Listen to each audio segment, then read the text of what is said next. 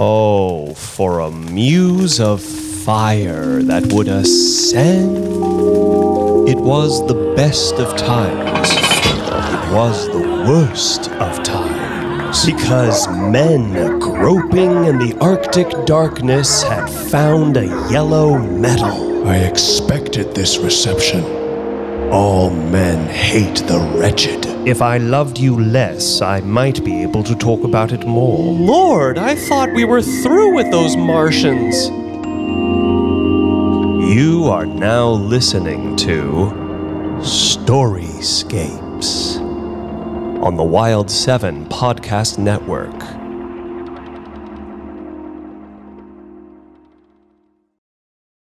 Diary of a Madman by Nikolai Gogol. Performed by Alex Rogers. October 3rd. A strange occurrence has taken place today. I got up fairly late, and when Maura brought me my clean boots, I asked her how late it was. When I heard it had long struck 10, I dressed as quickly as possible. To tell the truth, I'd rather not have gone to the office at all today. For I know beforehand that our department chief will look as sour as vinegar. For some time past, he's been in the habit of saying to me, Look here, my friend, there's something wrong with your head. You often rush about as though you were possessed. Then you make such confused abstracts of the documents that the devil himself cannot make them out. You write the title without any capital letters, and add neither the date nor the docket number. The long legged scoundrel.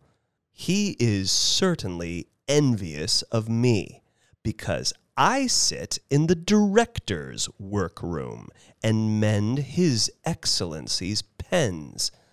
In a word, I should not have gone to the office if I had not hoped to meet the accountant and perhaps squeeze a little advance out of this skinflint. A terrible man, this accountant. As for his advancing one's salary once in a way, you might sooner expect the skies to fall. You may beg and beseech him, and be on the very verge of ruin. This gray devil won't budge an inch. At the same time, his own cook at home, as all the world knows, boxes his ears. I really don't see what good one gets by serving in our department. There are no plums there. In the fiscal and judicial offices, it is quite different. There, some ungainly fellow sits in a corner and writes and writes. He has such a shabby coat and such an ugly mug that one would like to spit on both of them. But you should see what a splendid country house he has rented. He would not condescend to accept a gilt porcelain cup as a present. You can give that to your family doctor, he would say. Nothing less than a pair of chestnut horses, a fine carriage, or a beaver fur coat worth 300 rubles would be good enough for him. And yet he seems so mild and quiet and asks so amiably, uh, Please lend me your penknife. I wish to mend my pen. Nevertheless, he knows how to scarify a petitioner till he has hardly a whole stitch left on his body. In our office, it must be admitted, everything is done in a proper and gentlemanly way. There's more cleanness and elegance than one will ever find in government offices. The tables are mahogany, and everyone is addressed as Sir.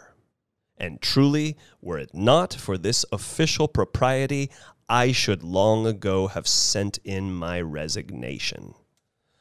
I put on my old cloak and took my umbrella as a light rain was falling. No one was to be seen on the streets except some women who had flung their skirts over their heads. Here and there one saw a cabman or a shopman with his umbrella up. Of the higher classes, one only saw an official here and there. One I saw at the street crossing and thought to myself, Ah, my friend, you are not going to the office, but after that young lady who walks in front of you. You're just like the officers who run after every petticoat they see. As I was thus following the train of my thoughts, I saw a carriage stop before a shop just as I was passing it. I recognized it at once. It was our director's carriage. He has nothing to do in the shop, I said to myself. It must be his daughter. I pressed myself close against the wall. A lackey opened the carriage door, and as I had expected, she fluttered like a bird out of it. How proudly she looked right and left, how she drew her eyebrows together and shot lightnings from her eyes. Good heavens, I'm lost, hopelessly lost. But why must she come out in such abominable weather? And yet they say women are so mad on their finery. She did not recognize me. I'd wrapped myself as closely as possible in my cloak. It was dirty and old fashioned, and I would not have liked to have been seen by her wearing it. Now they wear cloaks with long collars, but mine has only a short double collar, and the cloth is of inferior quality. Her little dog could not get into the shop and remained outside. I know this dog. Its name is Maggie. Before I'd been standing there a minute, I heard a voice call, Good day, Maggie! Who the deuce was that? I looked round and saw two ladies hurrying by under an umbrella. One old, the other fairly young. They'd already passed me when I heard the same voice say again, For shame, Maggie! What was that? I saw Maggie sniffing at a dog which ran behind the ladies. The deuce? I thought to myself. I- I'm not drunk. That happens pretty seldom. No, Fidel, you are wrong. I heard Maggie say quite distinctly. I was. I was very ill. What an extraordinary dog. I was, to tell the truth, quite amazed to hear it talk human language. But when I considered the matter well, I ceased to be astonished. In fact, such things have already happened in the world. It is said that in England a fish put its head out of water and said a word or two in such an extraordinary language that learned men have been puzzling over them for three years and have not succeeded in interpreting them yet. I also read in the paper of two cows who entered a shop and asked for a pound of tea. Meanwhile, what Maggie went on to say seemed to me still more remarkable. She added, I wrote to you lately, Fidel. Perhaps Polkan did not bring you the letter. Now, I'm willing to forfeit a whole month's salary if I ever heard of a dog's writing before. This has certainly astonished me. For some little time past, I hear and see things which no other man has heard and seen. I will, I thought, follow that dog in order to get to the bottom of the matter. Accordingly, I opened my umbrella and went after the two ladies. They went down Bean Street, turned through Citizen Street and Carpenter Street, and finally halted on the Cuckoo Bridge before a large house. I know this house. It's Zverkov's. What a monster he is. What sort of people live there? How many cooks? How many bagmen? There are brother officials of mine also there, packed on each other like herrings. And I have a friend there, a fine player on the cornet. The ladies mounted to the fifth story. Very good, thought I. I will make a note of the number in order to follow up the matter at the first opportunity. October 4th. Today is Wednesday, and I was, as usual, in the office. I came early on purpose, sat down, and mended all the pens. Our director must be a very clever man. The whole room is full of bookcases. I read the titles of some of the books.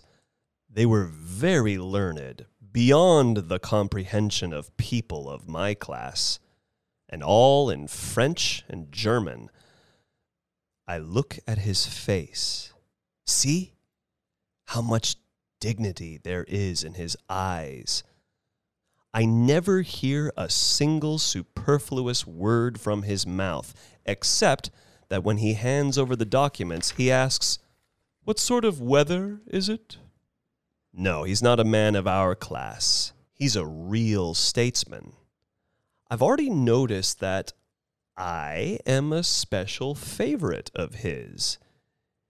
If now his daughter also. Uh, what folly. Let me say no more about it. I've read The Northern Bee. what foolish people the French are. By heavens, I should like to tackle them all and give them a thrashing. I've also read a fine description of a ball given by a landowner of Kursk. The landowners of Kursk write a fine style. Then I noticed that it was already half past twelve, and the director had not yet left his bedroom. But about half past one, something happened which no pen can describe. The door opened. I thought it was the director. I jumped up with my documents from the seat, and then she herself came into the room. Ye saints, how beautifully she was dressed. Her garments were whiter than a swan's plumage. Oh, how splendid! A sun. a sun, indeed, a real sun. She greeted me and asked, Has not my father come yet? Oh, what a voice! A canary bird, a real canary bird. Your Excellency, I wanted to exclaim. Don't have me executed, but if it must be done, then kill me rather with your own angelic hand. But God knows why I could not bring it out, so I only said, No, he's not come yet. She glanced at me, looked at the books, and let her handkerchief fall. Instantly I started up, but slipped on the infernal polished floor and nearly broke my nose. Still, I succeeded in picking up the handkerchief. Ye heavenly choirs, what a handkerchief! So tender and soft, of the finest cambric. It had the scent of a general's rank. She thanked me and smiled so amiably that her sugar lips nearly melted. Then she left the room. After I had sat there about an hour, a flunky came in and said, You can go home, Mr. Ivanovich. The director has already gone out. I cannot stand these lackeys. They hang about the vestibules and scarcely vouchsafe to greet one with a nod. Yes, sometimes it's even worse. Once one of these rascals offered me his snuff box without even getting up from his chair. Don't you know, then, you country bumpkin, that I'm an official and of aristocratic birth? This time, however, I took my hat and overcoat quietly. These people naturally never think of helping one on with it. I went home, lay a good while on the bed, and wrote some verses in my note. Tis an hour since I saw thee, and it seems a whole long year. If I loathe my own existence, how can I live on, my dear? I think they are by Pushkin. In the evening, I wrapped myself in my cloak, hastened to the director's house, and waited there a long time to see if she would come out and get into the carriage. I only wanted to see her once, but she did not come. November 6th. Our chief clerk has gone mad. When I came to the office today, he called me to his room and began as follows Look here, my friend, what wild ideas have got into your head? How? What? None at all, I answered. Consider well, you're already past forty. It is quite time to be reasonable. What do you imagine? Do you think I don't know all your tricks? Are you trying to pay court to the director's daughter? Look at yourself and realize what you are a non entity, nothing else. I would not give a kopeck for you. Look well in the glass. How can you have such thoughts with such a caricature of a face? May the devil take him, because his own face has a certain resemblance to a medicine bottle, because he has a curly bush of hair on his head and sometimes combs it upward and sometimes plasters it down in all kinds of queer ways. He thinks he can do everything. I know well, I know why he is angry with me. He's envious. Perhaps he's noticed the tokens of favor which have been graciously shown me. But why should I bother about it? A counselor. What kind of important animal is that? He wears a gold chain with his watch, buys himself boots at 30 rubles a pair. May the deuce take him. Am I a tailor's son or some other obscure cabbage? I am a nobleman. I can also work my way up. I am just 42, an age when a man's real career generally begins. Wait a bit, my friend.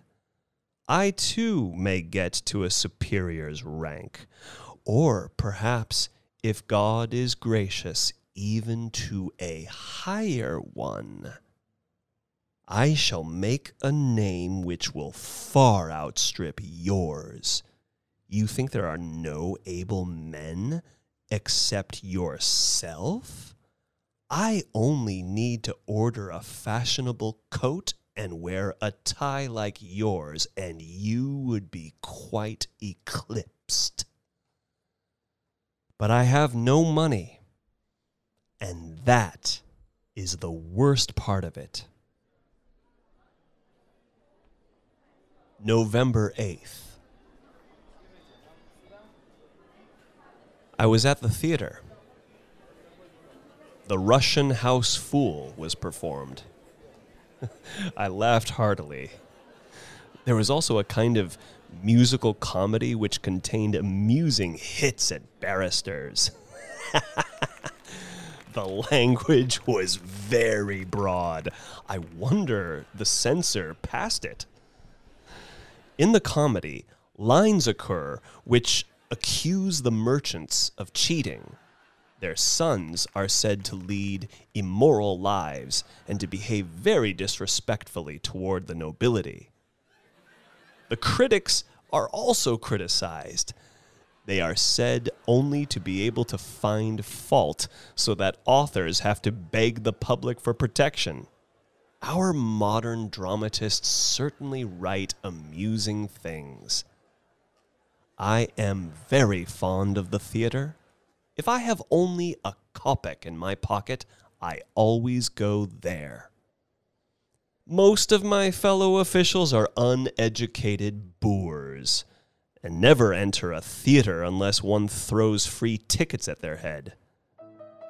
One actress sang divinely. I thought also of. But silence. November 9th. About 8 o'clock, I went to the office. The chief clerk pretended not to notice my arrival. I, for my part, also behaved as though he were not in existence. I read through and collated documents. About four o'clock, I left. I passed by the director's house, but no one was to be seen. After dinner, I lay for a good while on the bed. November 11th. Today, I sat in the director's room, mended 23 pens for him, and for her, for her excellence, his daughter, four more. The director likes to see many pens lying on his table. What a head he must have! He continually wraps himself in silence, but I don't think the smallest trifle escapes his eye. I should like to know what he is generally thinking of, what is really going on in this brain. I should like to get acquainted with the whole manner of life of these gentlemen and get a closer view of their cunning courtiers' arts and all the activities of these circles. I've often thought of asking His Excellence about them, but the deuce knows why. Every time my tongue failed me and I could get nothing out but my meteorological report. I wish I could get a look into the spare room whose door I so often see open, and a second small room behind the spare room excites my curiosity. How splendidly it is fitted up! What a quantity of mirrors and choice china it contains! I should also like to cast a glance into those regions where Her Excellency, the daughter, wields the scepter. I should like to see how all the scent bottles and boxes are arranged in her boudoir, and the flowers which exhale so delicious a scent that one is half afraid to breathe and her clothes lying about which are too ethereal to be called clothes. but silence.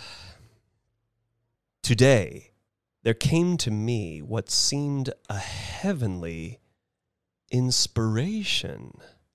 I remembered the conversation between the two dogs which I had overheard on the Nevsky Prospect. Very good, I thought. Now I see my way clear. I must get hold of the correspondence which these two silly dogs have carried on with each other. In it, I shall probably find many things explained. I'd already once called Maggie to me and said to her, Listen, Maggie, now we're alone together. If you like, I'll also shut the door so that no one can see us. Tell me now all that you know about the mistress. I swear to you that I will tell no one.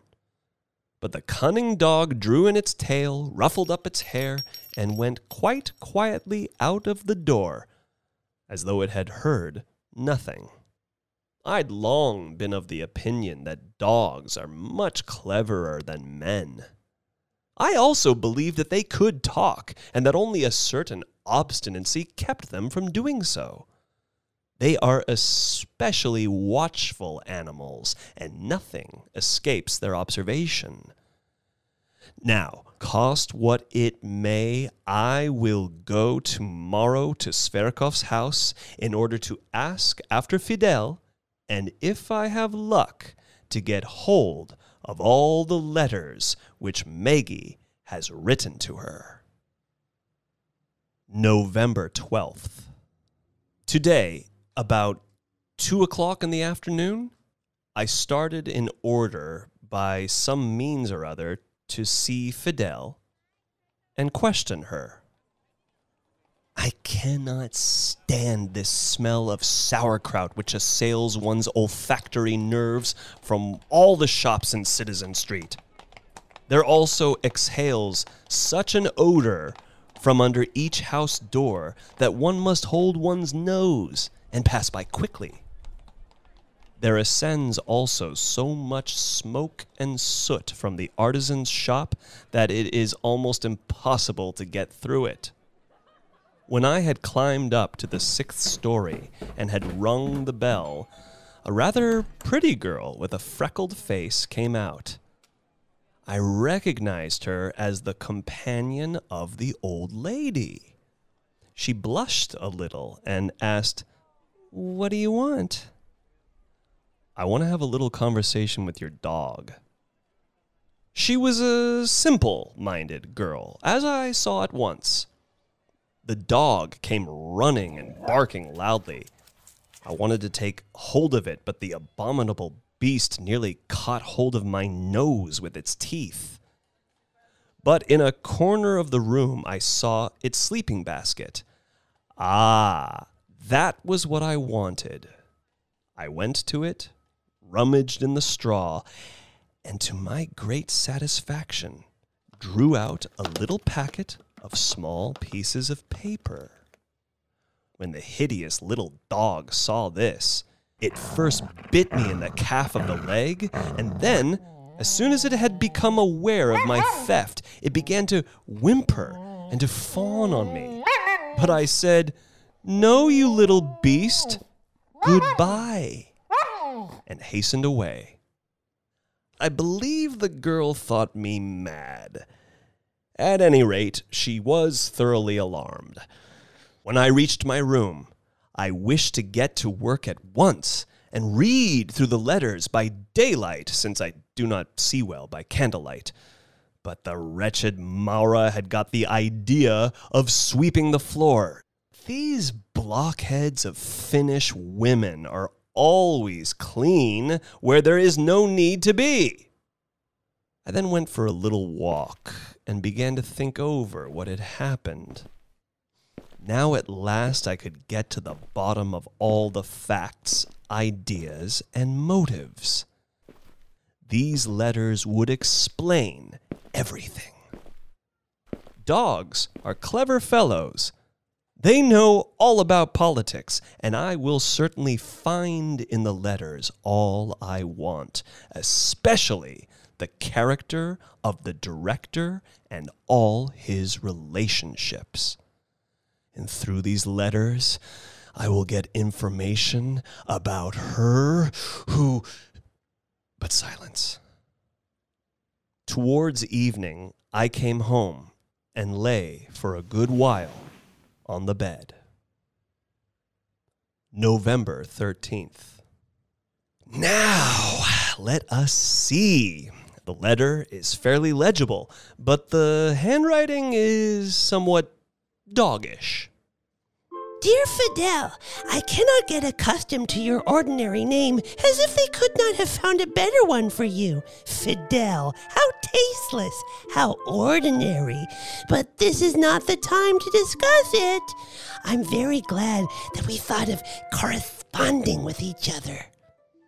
The letter is quite correctly written. The punctuation and spelling are perfectly right. Even our head clerk does not write so simply and clearly, though he declares he has been at the university. Let us go on. I think that it is one of the most refined joys of this world to interchange thoughts, feelings, and impressions. Hmm. This idea comes from some book which has been translated from German. I can't remember the title. I speak from experience, although I've not gone farther into the world than just before our front door. Doth not my life pass happily and comfortably? My mistress, whom her father calls Sophie, is quite in love with me. Ah, ah, but, better be silent. Her father also often strokes me. I drink tea and coffee with cream. Yes, my dear, I must confess to you that I find no satisfaction in those large, gnawed at bones which Polkan devours in the kitchen. Only the bones of wild fowl are good, and that only when the marrow has not been sucked out of them. They taste very nice with a little sauce, but there should be no green stuff in it. But I know nothing worse than the habit of giving dogs balls of bread kneaded up. Someone sits at a table, kneads a bread ball with dirty fingers, calls you and sticks it in your mouth. Good manners forbid you refusing it, and you eat it with disgust, it is true, but you eat it. The deuce? What is this? What rubbish? As if she could find nothing more suitable to write about? I'll see if there's anything more reasonable on the second page. I am quite willing to inform you of everything that goes on here. I've already mentioned the most important person in the house, whom Sophie calls Papa. He's a very strange man. Ah, here we are at last. Yes, I knew it. They have a politician's penetrating eye for all things. Let us see what she says about Papa. A strange man. Generally, he is silent. He only speaks seldom. But about a week ago, he kept on repeating himself Shall I get it or not? In one hand, he took a sheet of paper the other he stretched out as though to receive something and repeated, Shall I get it or not?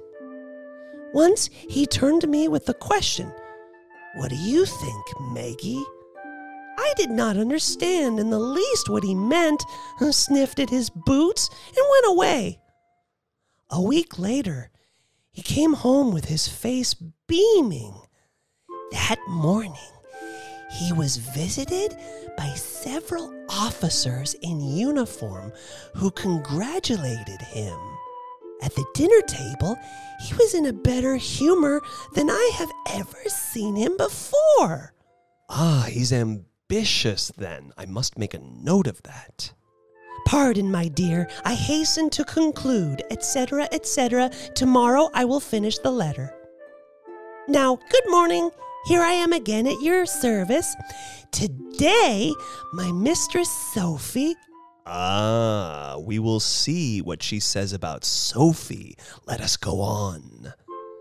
Was in an unusually excited state. She went to a ball, and I was glad that I could write to you in her absence. She likes going to balls, although she gets dreadfully irritated while dressing. Cannot understand, my dear, what is the pleasure in going to a ball?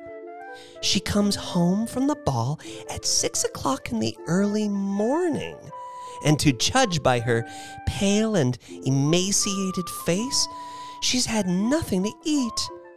I could, frankly speaking, not endure such an existence. If I could not get partridge with sauce, or the wing of a roast chicken, I don't know what I should do. Porridge with sauce is also tolerable, but I get up no enthusiasm for carrots, turnips, and artichokes. The beginning is quite intelligent, but at the end, the canine nature breaks out. I will read another letter. It is rather long, and there is no date. Oh, my dear, how delightful is the arrival of spring. My heart beats as though it expected something. There is a perpetual ringing in my ears, so that I often stand with my foot raised for several minutes at a time and listen toward the door. In confidence, I will tell you that I have many admirers. I often sit on the windowsill and let them pass in review. Ah, if you knew what miscreations there are among them. One, a clumsy house dog with stupidity written on his face, walks the streets with an important air and imagines that he is an extremely important person and that the eyes of all the world are fastened on him. I don't pay him the least attention and pretend not to see him at all. And what a hideous bulldog has taken up his post opposite my window. If he stood on his hind legs, as the monster probably cannot, he would be taller by a head than my mistress's papa, who himself has a stately figure. This lout seems, moreover, to be very impudent. I growl at him, but he does not seem to mind that at all. If he at least would only wrinkle his forehead. Instead of that, he stretches out his tongue, droops his big ears, and stares in at the window. This rustic boor. Do you think, my dear, that my heart remains proof against all temptations? Alas, no. If you had only seen that gentlemanly dog who crept through the fence of the neighborhood house. Treasure is his name. Ah, my dear, what a delightful snout he has. To the deuce with this stuff. What rubbish it is. How can one blacken paper with such absurdities? Give me a man. I want to see a man. I need some food to nourish and refresh my mind and get this silliness instead. I will turn the page to see if there is anything better on the other side. Sophie sat at the table and sewed something. I looked out of the window and amused myself by watching the passers by. Suddenly, a flunky entered and announced a visitor, Mr. Teploff. Show him in, said Sophie, and began to embrace me. Ah, Maggie, Maggie, do you know who that is? He is dark and belongs to the royal household. And what eyes he has! Dark and brilliant as fire. Sophie hastened into her room. A minute later, a young gentleman with black whiskers entered. He went to the mirror, smoothed his hair, and looked round the room. Sophie entered and returned his bow in a friendly manner. I pretended to observe nothing and continued to look out of the window, but I leant my head a little on one side to hear what they were talking about. Oh, my dear, what silly things they discussed! How a lady executed the wrong figure in dancing, how a certain Boboff with his expansive shirt frill had looked like a stork and nearly fallen down how a certain Lidina imagined she had blue eyes when they were really green, etc. I do not know, my dear, what special charm she finds in her Mr. Teploff and why she's so delighted with him. It seems to me myself that there is something wrong here.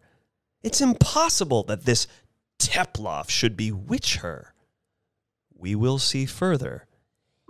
If this gentleman of the household pleases her, then she must also be pleased, according to my view, with that official who sits in her papa's writing room.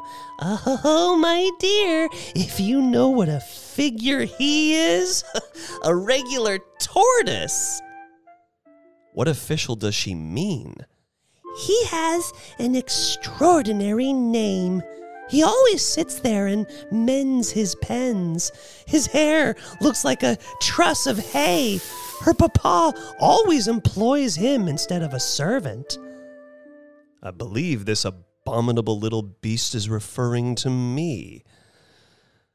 But what's my hair got to do with the hay?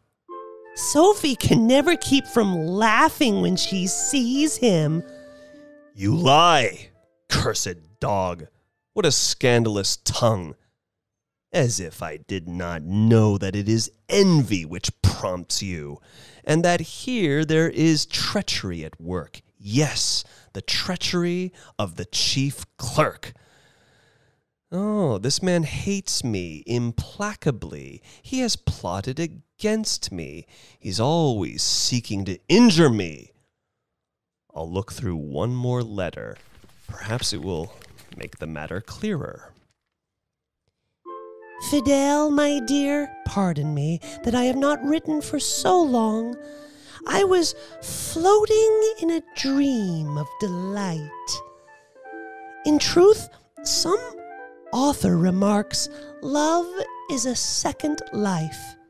Besides, great changes are going on in the house.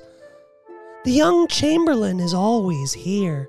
Sophie is wildly in love with him. Her papa is quite contented.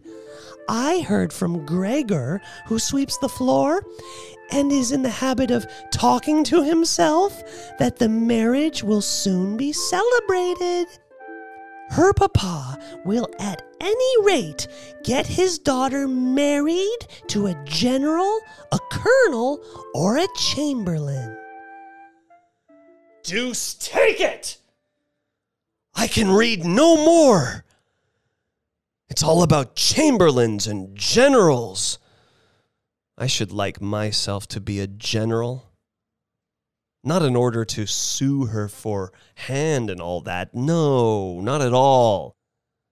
I should like to be a general merely in order to see people wriggling, squirming, and hatching plots before me. And then I should like to tell them that they are both of them not worth spitting on. But it is vexatious. I tear the foolish dog's letters up in a thousand pieces. December 3rd. It is not possible that the marriage should take place. It's only idle gossip. What does it signify if he's a chamberlain? That's only a dignity, not a substantial thing which one can see or handle. His chamberlain's office will not procure him a third eye in his forehead. Neither is his nose made of gold. It's just like mine or anyone else's nose. He does not eat and cough, but smells and sneezes with it. I should like to get to the bottom of the mystery. Whence do all these distinctions come? Why am I only a titular counselor? Perhaps I am really a count or a general and only appear to be a titular counselor. Perhaps I don't even know who or what I am. How many cases are there in history of a simple gentleman, or even a burgher or peasant, suddenly turning out to be a great lord or baron?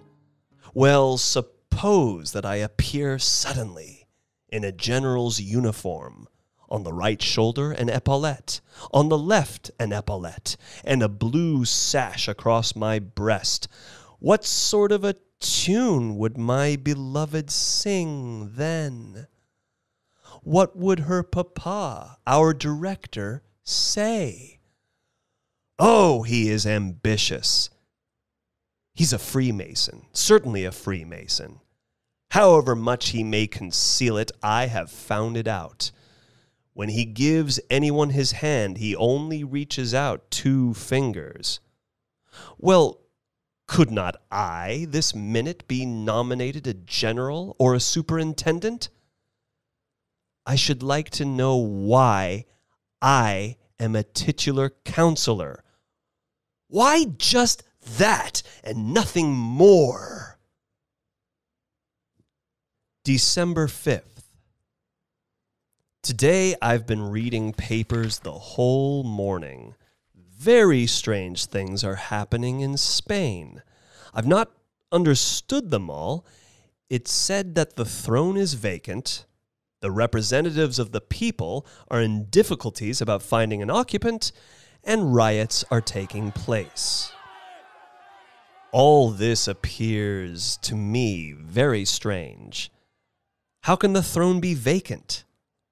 How can the throne be vacant?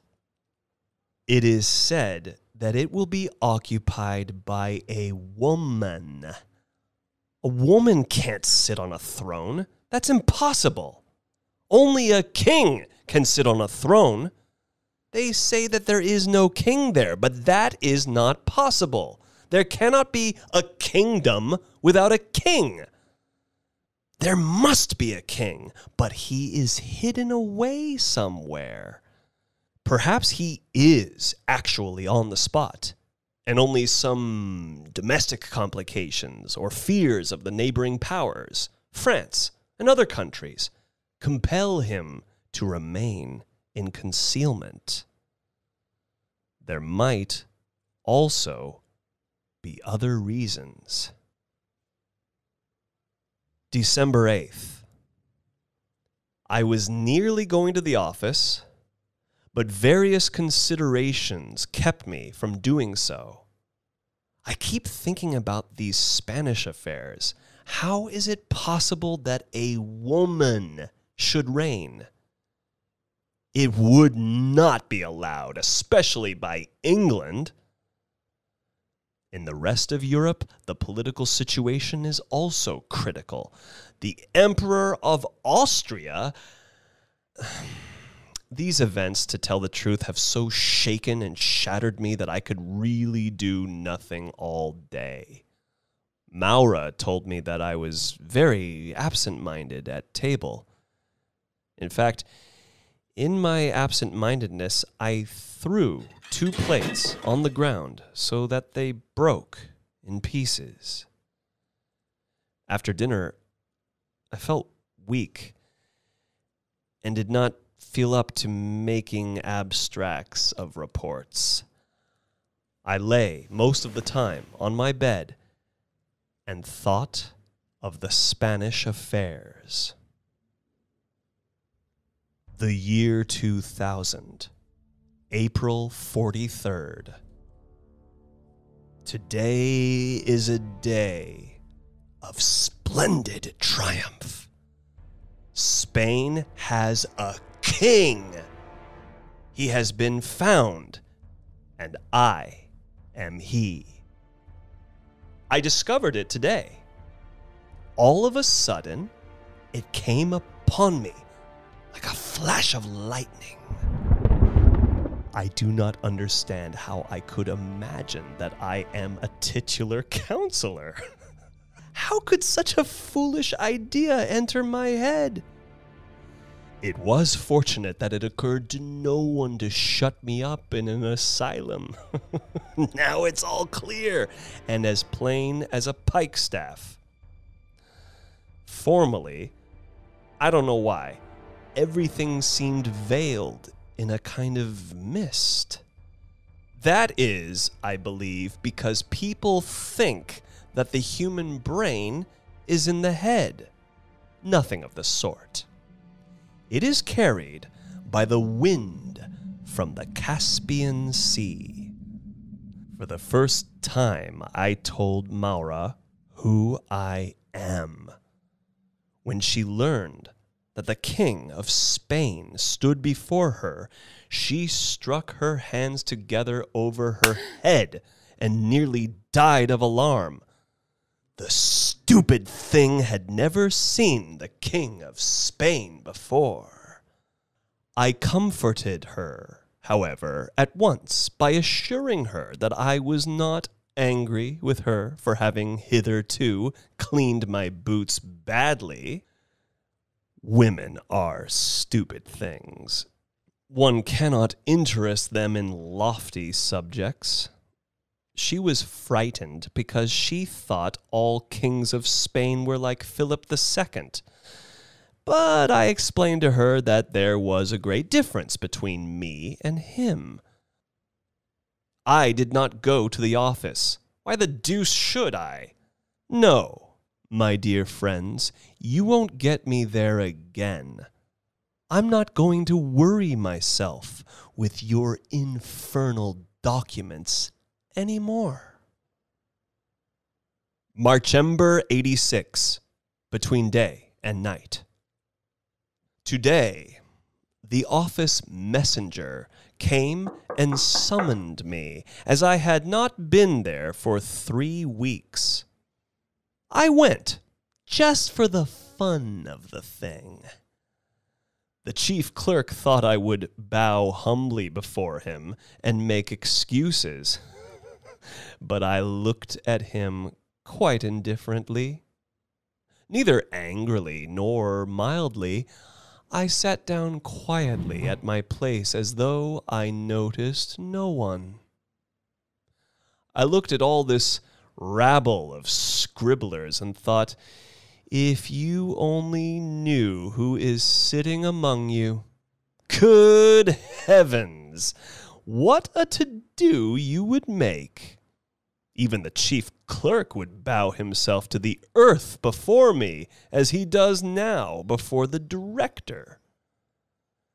A pile of reports was laid before me, of which to make abstracts, but I did not touch them with one finger.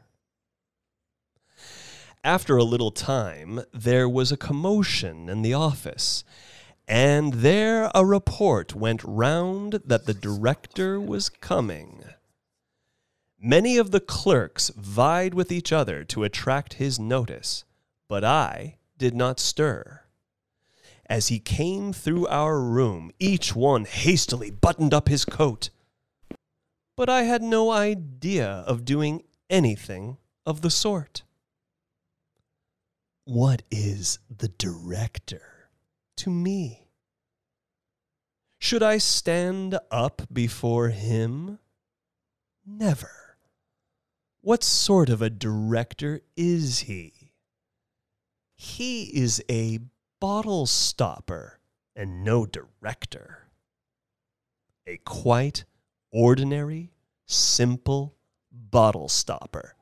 Nothing more. I felt quite amused as they gave me a document to sign. They thought I'd simply put down my name. So and so, clerk. Why not? But at the top of the sheet, where the director generally writes his name, I inscribed Ferdinand the Eighth in bold characters. You should have seen what a reverential silence ensued. But I made a gesture with my hand and said, Gentlemen, no ceremony, please. Then I went out and took my way straight to the director's house. He was not at home. The flunky wanted not to let me in, but I talked to him in such a way that he soon dropped his arms. I went straight to Sophie's dressing room. She sat before the mirror. When she saw me, she sprang up and took a step backwards. But I did not tell her that I was the king of Spain. But I told her that a happiness awaited her beyond her power to imagine, and that in spite of all our enemies' devices, we should be united. That was all which I wished to say to her, and I went out. Oh, what cunning creatures these women are! Now I have found out what woman really is. Hitherto, no one knew whom a woman really loves. I am the first to discover it. She loves the devil. Yes, joking apart, learned men write nonsense when they pronounce that she is this and that. She loves the devil. That's all. You see a woman looking through her lorgnette from a box in the front row. One thinks she is watching that stout gentleman who wears an order. Not a bit of it. She is watching the devil who stands behind his back. He has hidden himself there and beckons to her with his finger. And she marries him. Actually, she marries him. That is all ambition. And the reason is that there is under the tongue a little blister in which there is a little worm of the size of a pin's head.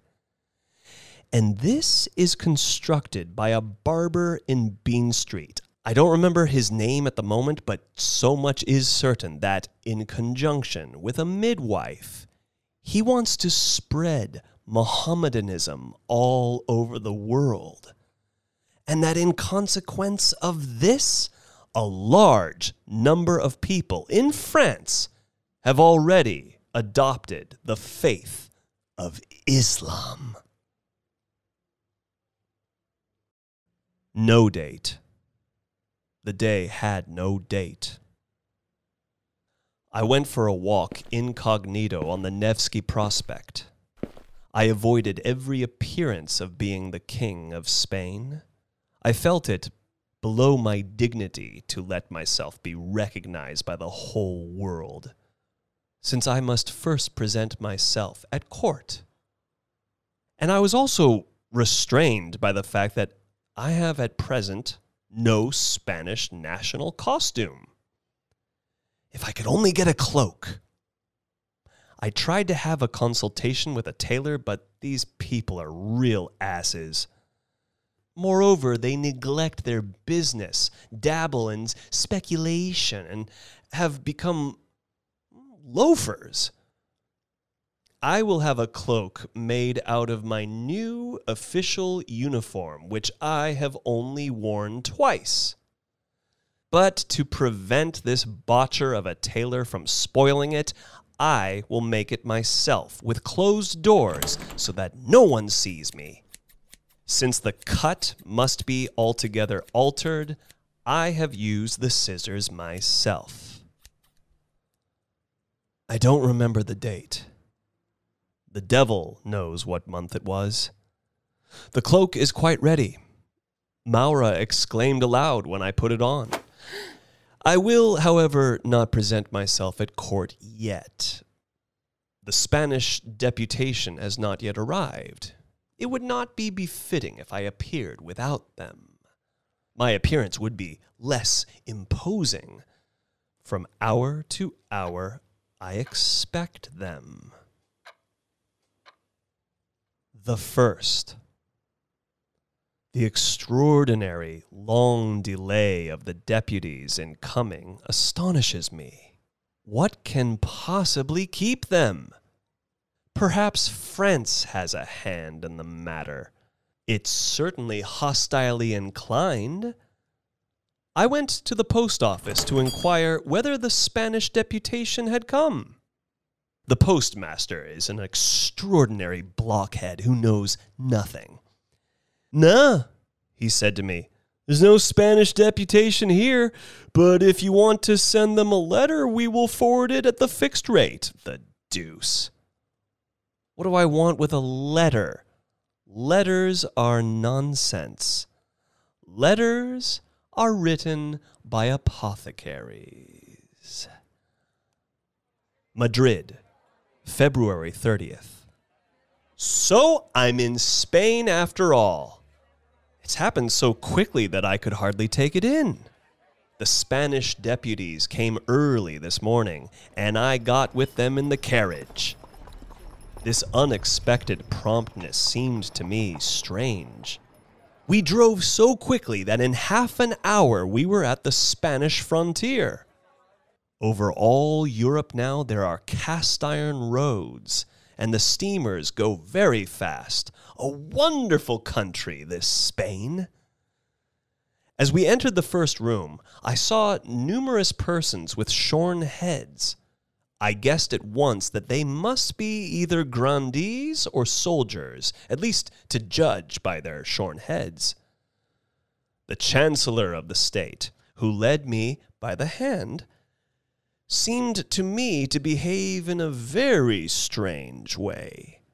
He pushed me into a little room and said, Stay here. And if you call yourself King Ferdinand again, I will drive the wish to do so out of you. I knew, however, that that was only a test, and I reasserted my conviction, on which the Chancellor gave me two such severe blows with a stick on the back that I could have cried out with pain. But I restrained myself, remembering that this was a usual ceremony of old time chivalry when one was inducted into a high position. And in Spain, the laws of chivalry prevail up to the present day. When I was alone, I determined to study state affairs. I discovered that Spain and China are one and the same country. And it is only through ignorance that people regard them as separate kingdoms. I advise everyone urgently to write down the word Spain on a sheet of paper. He will see that it is quite the same as China. But I feel much annoyed by an event which is about to take place tomorrow. At seven o'clock, the Earth is going to sit on the moon. This is foretold by the famous English chemist Wellington. To tell the truth, I often felt uneasy when I thought of the excessive brittleness and fragility of the moon. The moon is generally repaired in Hamburg and very imperfectly. It is done by a lame cooper, an obvious blockhead who has no idea how to do it. He took waxed thread and olive oil, hence that pungent smell all over the earth, which compels people to hold their noses. But this makes the moon so fragile that no men can live on it, but only noses. Therefore, we cannot see our noses because they are on the moon. When I now pictured to myself how the earth, that massive body, would crush our noses to dust if it sat on the moon, I became so uneasy that I immediately put on my shoes and stockings and hastened into the council hall to give the police orders to prevent the earth sitting on the moon. The grandees, with the shorn heads, whom I met in great numbers in the hall, were very intelligent people, and when I exclaimed, Gentlemen, let us save the moon, for the earth is going to sit on it. They all set to work to fulfill my imperial wish, and many of them clambered up the wall in order to take the moon down. And at that moment, the imperial chancellor came in. And as soon as he appeared, they all scattered, but I alone, as king, remained. To my astonishment, however, the chancellor beat me with the stick and drove me to my room. So powerful are ancient customs in Spain. January in the same year, following after February. I can never understand what kind of a country this Spain really is.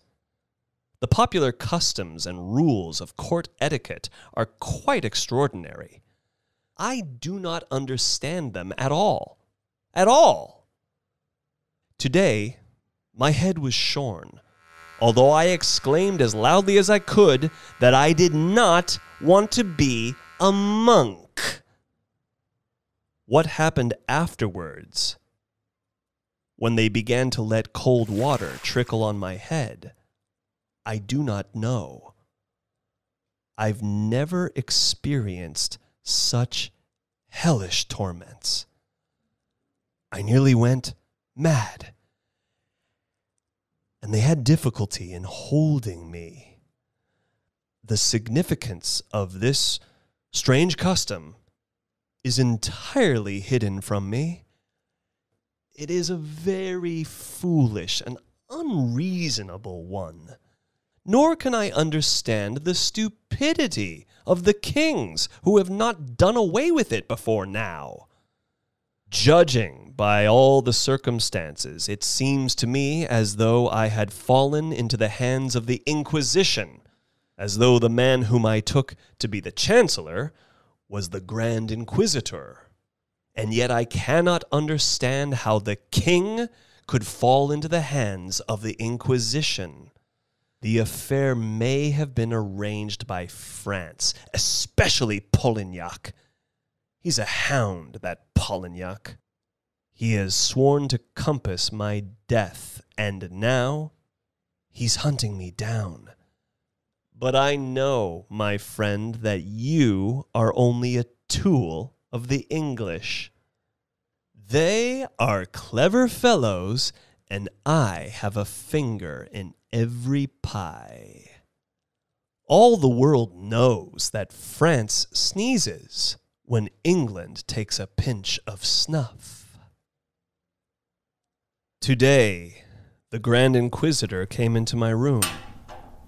When I heard his steps in the distance, I hid myself under a chair. When he did not see me, he began to call. At first, he called, Poprishin! I made no answer. Then he called, Aksanti Ivanovich, titular councillor, nobleman. I still kept silence. Ferdinand the Eighth, King of Spain. I was on the point of putting out my head, but I thought, No, brother, you shall not deceive me. You shall not pour water on my head again. But he'd already seen me and drove me from under the chair with his stick. The cursed stick really hurts one. But the following discovery compensated me for all the pain. In other words, that every cock has his Spain under his feathers. The Grand Inquisitor went angrily away and threatened me with some punishment or other. I felt only contempt for his powerless spite, for I know that he only works like a machine, like a tool of the English. 34 March February 349.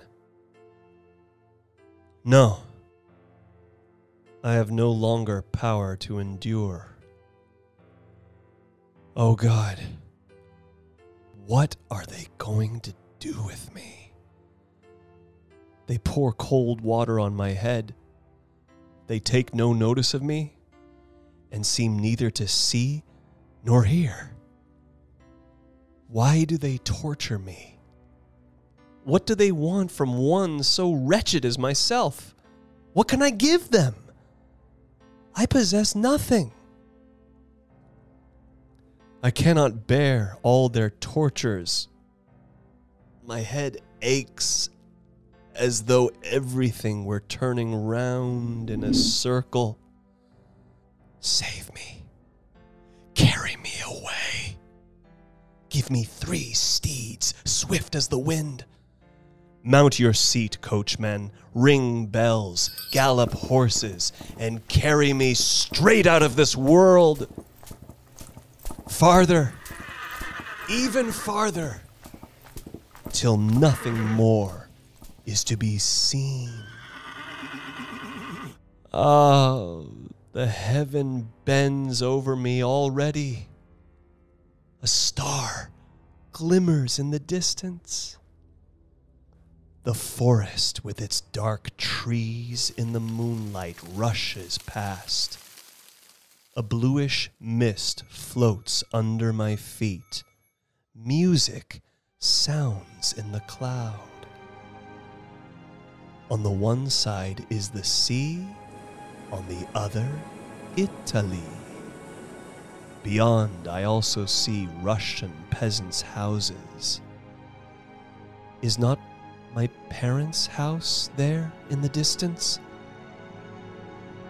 Does not my mother sit by the window? Oh, mother, mother, save your unhappy son. Let a tear fall on his aching head. See how they torture him. Press the poor orphan to your bosom. He has no rest in this world. They hunt him from place to place. Mother, mother, mother, have pity on your sick child. And do you know that the Bey of Algiers has a wart under his nose? You have been listening to Storyscapes on the Wild 7 Podcast Network. The story you have just heard is Diary of a Madman by Nikolai Gogol, performed by Alex Rogers, sound designed by Emily Zapata, opening theme music by Inka Rose, produced by Chris Trull. Keep listening for more Storyscapes.